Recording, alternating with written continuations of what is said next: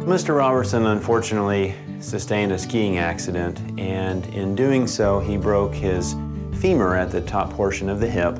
He also broke his hip socket, and as a result of that, he ended up having surgery at the location he went skiing. But unfortunately, the hip socket fracture healed, but the fracture at the top of the femur did not.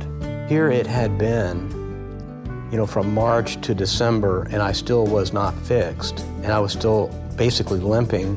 Mr. Robertson sought help from orthopedic surgeon Dr. Joseph Conflitti at the ETMC Orthopedic Institute. When Mr. Robertson came, he certainly had significant pain to his hip, and we counseled him, talked to him about it, and we felt that a hip replacement surgery would be best for him so that he could return back to his uh, former activities. I knew that it was going to have to be done, and so my response to him was, well, let's do it as soon as we can. I was able to offer him some of the latest technology and innovation that we do at ETMC. We were able to do a hip replacement surgery from the front portion of his leg, and that allowed him to be up and mobile very, very quickly with very, very little pain.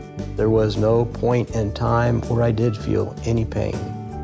Uh, not after the surgery, not the day after, not a week later, not a month later. He went back to the gym. He then went back to skiing. We've been skiing twice now. It was just like it used to be. So I didn't have any, any problem getting back up there. I was really happy to see that uh, our technology here at ETMC was allowing him to return back for his uh, skiing activities. Mr. Robertson was really happy with the results of his hip replacement surgery too, and has this advice for others who suffer with orthopedic pain. Do not live with the current impediment that you might have. Get it fixed and live a, a normal life. Take Mr. Robertson's advice and call 903 596 3844 for a consultation at the ETMC Orthopedic Institute, standing by you in Athens, Henderson, Jacksonville, and Tyler.